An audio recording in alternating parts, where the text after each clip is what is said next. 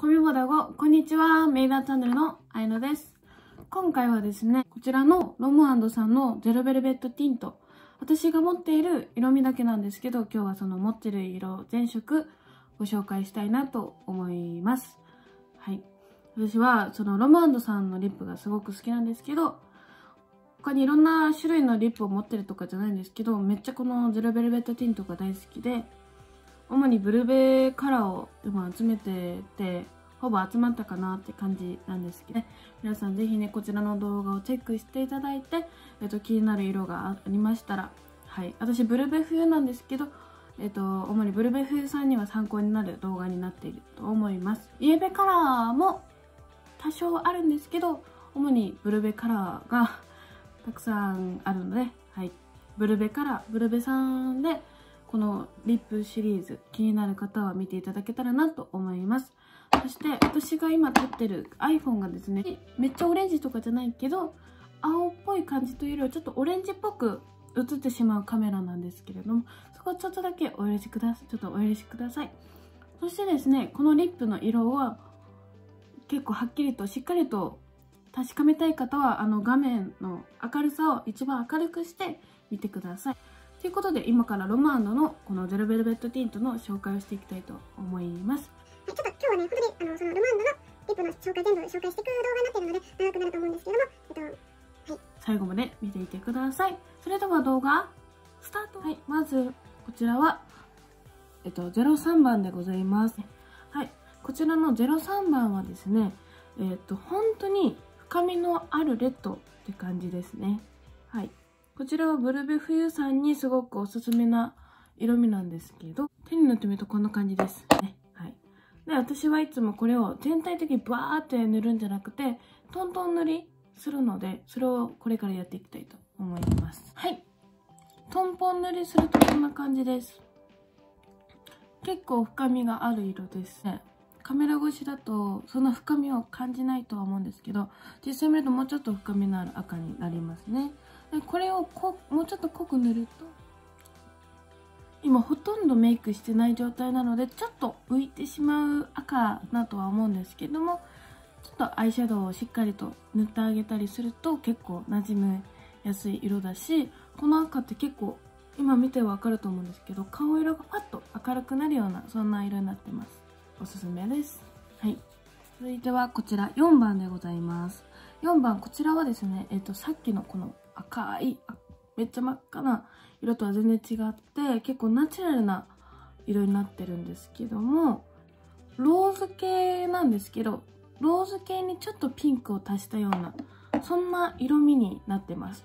なのでローズ系って物によってはちょっと顔色悪くなっちゃったりとか物足りないなって感じることが多々あるんですけれどもこれはピンクがちょっと足してあるってことでそんな顔色悪くなるとかじゃないしあとナチュラルメイクだったりとかあとはうんとブルベさんであのこういう深い色じゃなくてあのパパって濡れちゃうようなそういう色が欲しいって方にはこの4番おすすめかなと思います。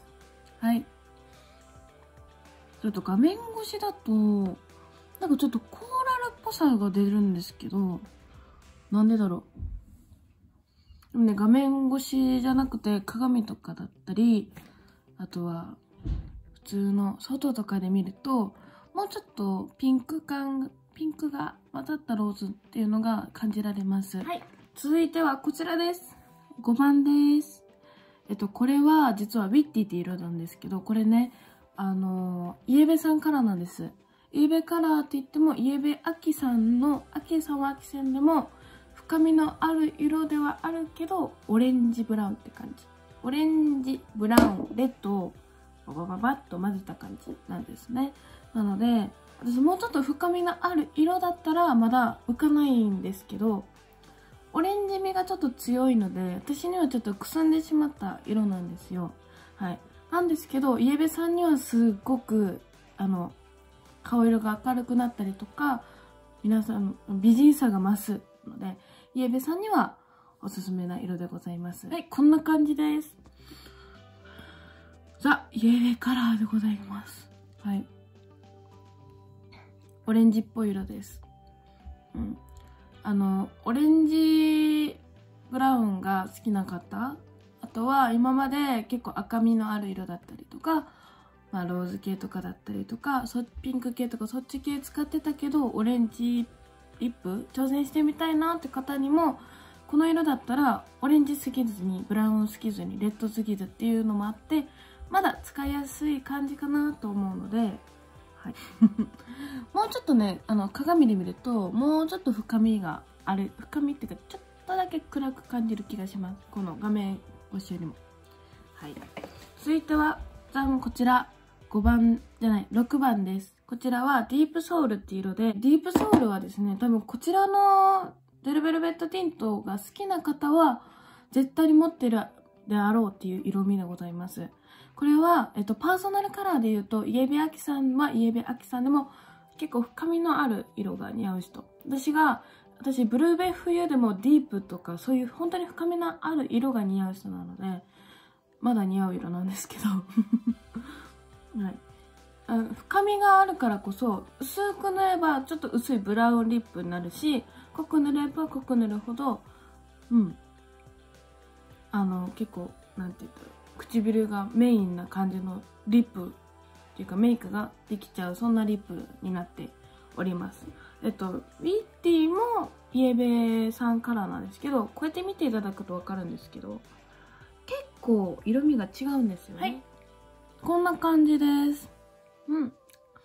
さっきよりも深みが出たと思います。はい。本当に好きな色です。私はこう単体で塗ることも多いんですけど私ロマンドさんのこのリップは結構他の色とか結構混ぜちゃって塗ることも多いんですけどそういうので混ぜる時に使うのにもすごくいいリップの色なので、はい、イエベアキさんそして深みのあるブラウンが好きな方、うん、にはぴったりかなと思います。はい。ブルベ冬の方で私と同じようなディープとかそっち系の結構深みのある色が似合うって方はまだくすまないブラウンリップだとは思うのでブルベさん、ブルベ冬さんでちょっとブラウンリップ合うかわからんなっていう方はぜひこれ試してみてください。続いてこちら7番です。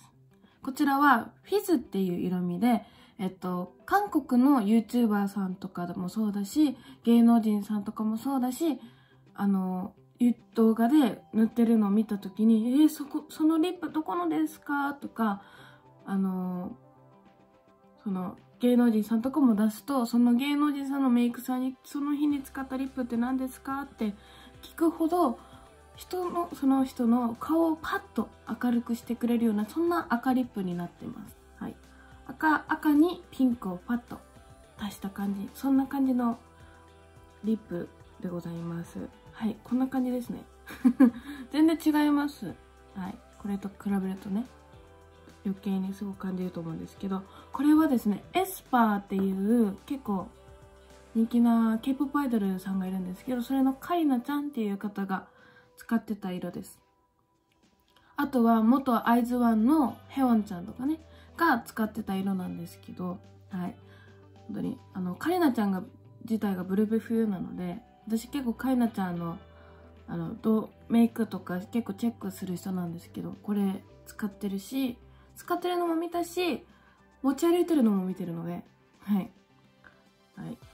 おすすめです。ってことで、塗っていきたいと思います。こんな感じです。うん。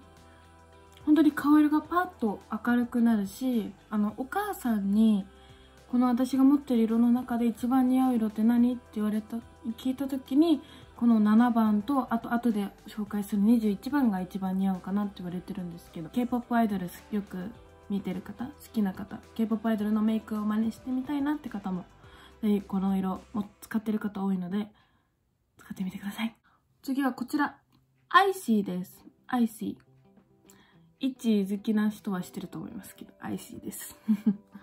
えっと、これはですね、えっと、うん、4番にちょっと近い、似てる色なんですけども、こっちは、どちらかというと、こう、くすみロくすんだローズにピンクちょっと足した感じ。逆にこれはくすみピンクにローズを足した感じ。ちょっと違いますね。塗ってみたいと思います。手に塗るとこんな感じです。比べてみるとこんな感じです。はい。結構画面越しではもっと違いが分かると思います。はい。こんな感じで。こっち8番こっち4番なんですけど。こっちの方がピンク味がちょっとあると思います。はい。こんな感じです。はい。塗ってみるとねやっぱり4番にちょっと似てるんですけどこっちの方がピンク味が強いかなって感じです。次続いてこちら9番でございます。これはなザ・ピンクって感じ。でピンクはピンク味でも青みピンクピンクです。なので私にはちょっと浮いちゃうようなピンクではあるんですけども可愛らしい色ですね。うん。なんかさくらちゃん宮脇さくらちゃんが使ってそうなそんな感じのピンクでございます。こんな感じ。めっちゃピンクでしょ。うん。なのでちょっと私にはちょっと浮いてしまうような色なんですけどでこれはねまあブルベナッツさんだったらこのまま塗っても浮かないとは思うんですけど私みたいなこういうピンクが浮いてしまう場合はベースとして使うにはすごくいい色でございます。続いてはじゃんこちら11番でございます。これもブルベカラーであろうって思いつつ買ったんですけどもこれはねまあブルベイエベ寄りでもないど真ん中の赤リップではあるんですけど私が塗った感じはブルベよりイエベよりなんじゃないかなと思います。どちらかというとですよ。はい。まあこの全部の赤の中で自分がブルベかイエベかわからない。どうしてもわからないけど赤リップが欲しい方は多分これが一番しっくりきやすいとは思うんですけどはい。私はちょっとなんかちょっとオレンジ味があるとかじゃないけどわ、はい、かりますかね？定番の赤って感じではあるんですけどはい。結構赤いでしょ？うん。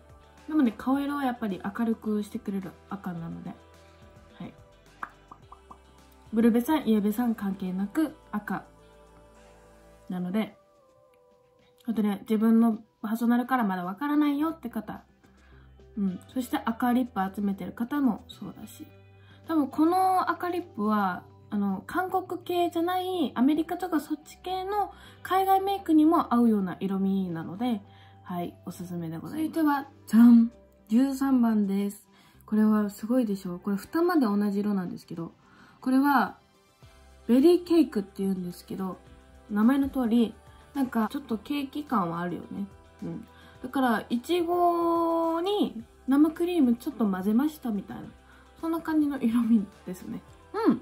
さっきの11番よりは自分、私の顔が明るく見える気がする。これは、い、もう、ピンクと赤を半分半分にして混ぜましたみたいな。そんな感じの色味です。あの、結構強く出るのかなっていう、浮いちゃうのかなと思ったらそうでもないので、おすすめです。はい次。次はこちら、14番でございます。はい。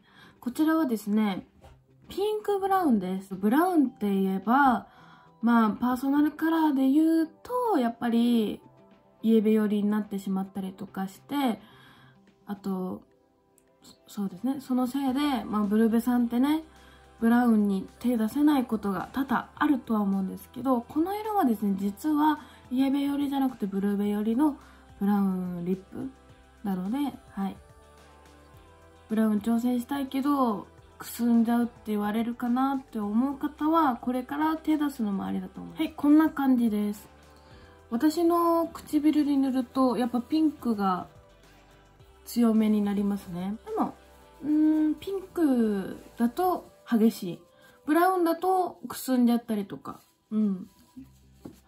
私には合わないかなって思う人もいると思うんですけどこれはピンクとブラウン可愛いピンクと大人っぽいブラウンがいい感じに混ざった色味なのであの大人っぽいメイクだったりとかうん可愛い普段ちょっとあのかっこいい系より可愛いらしいメイクをする方にもおすすめかなと思います続いてこちら18違う16番ですはい16番は見ての通りヌーディーカラーでございますムーディーカラーと言ったらブルベよりはイエベよりでしょって思いがちだと思うんですけれども、このヌーディーカラーね、2色出たんですよ。16番と17番。17番は確実に家日和さんで、私、テスターでね、ちゃんと手に乗せて塗った感じ、くすんでしまったんですけど、この16番は、そんなくすまないうん。ブルベ冬の私のちょっと、まあ、めっちゃ似合うって言われたらそうではなくて、ちょっと物足りない感じはするんですけど、あの、17番よりは全然大丈夫だし、あとね、この16番とさっきの14番混ぜてグラデーションするとめちゃくちゃ可愛い色になるので、このセットで買っちゃうのもおすすめです。はい。塗ってみるとこんな感じです。落ち着いてるでしょ、すごい。さっきまで結構パキッとした色だったりとか、結構明るい色だったりしてたのでパキッとしてたんですけど、これはヌーディーっていうのもあって、落ち着きましたよね。そのリップ、他のやつ塗ってない状態で塗ってもちょっとピンクっぽくなるので、私の唇に塗ったらなんですけどね。はい。で、なるので、あの、実はね、ロムアンドのこのゼロベルベットティントデビューしたの多分この色なんですよ。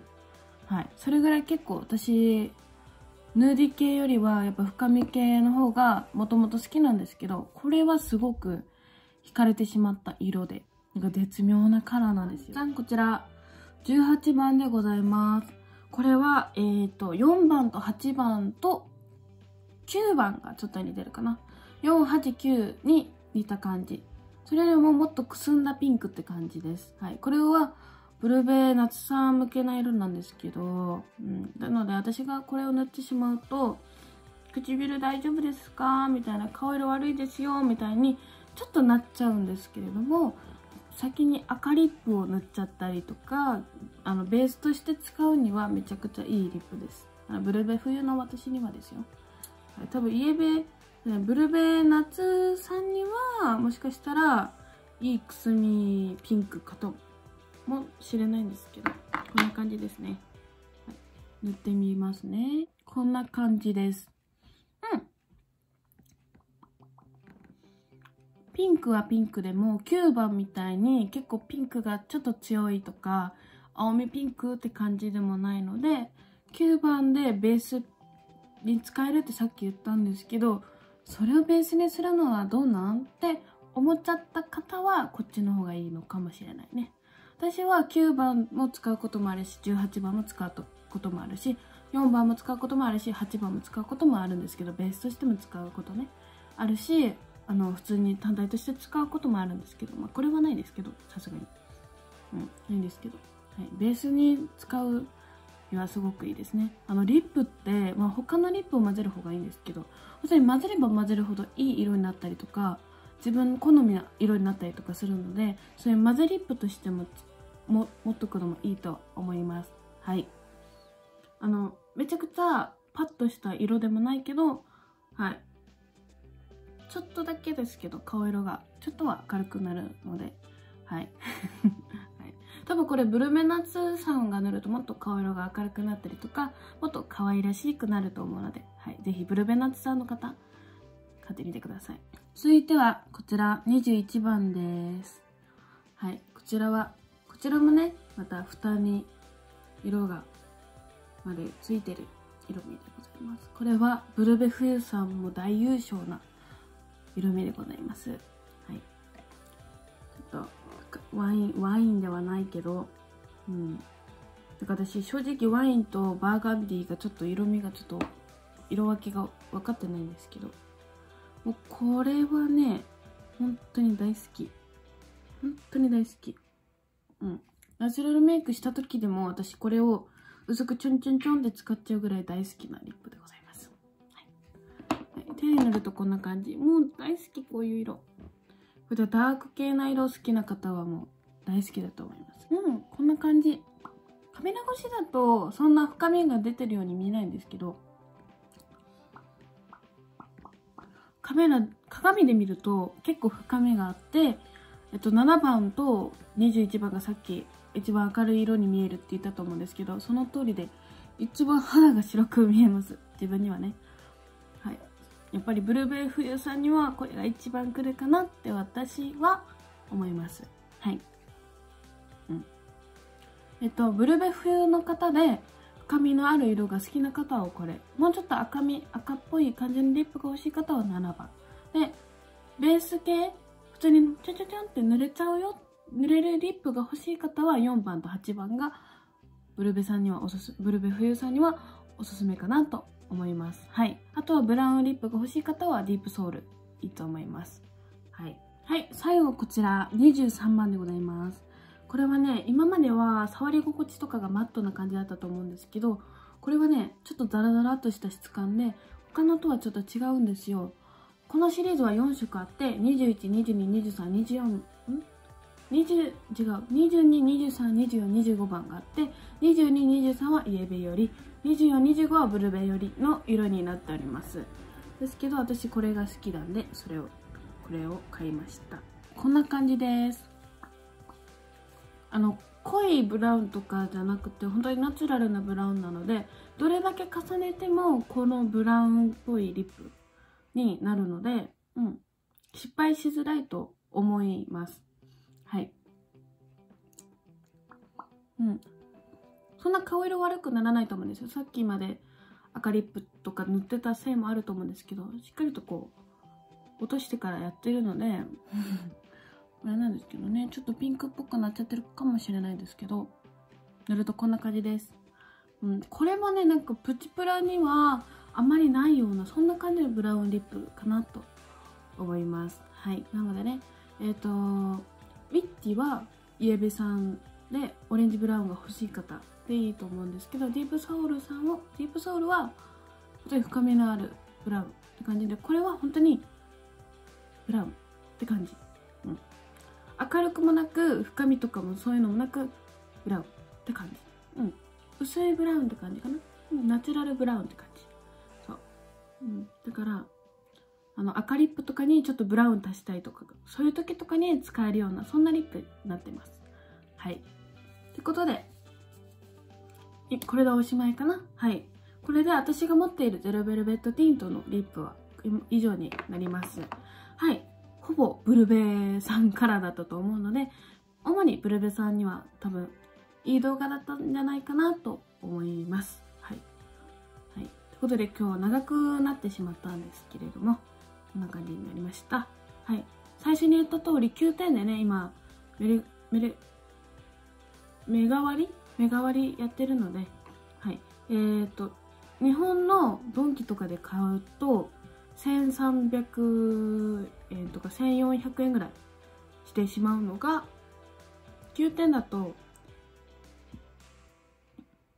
9点だと1119円とか1019円とか、本当に安く買えるので、安く買いたい方、うん、は、圧倒的に9点とかの方がいいので、はい。